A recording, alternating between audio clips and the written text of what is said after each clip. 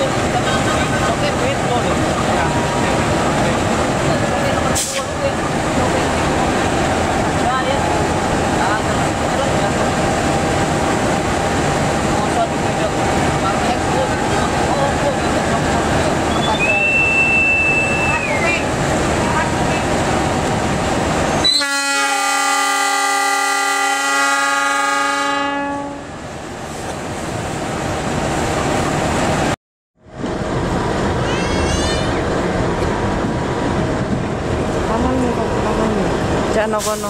Kowe sing dhuwur lho.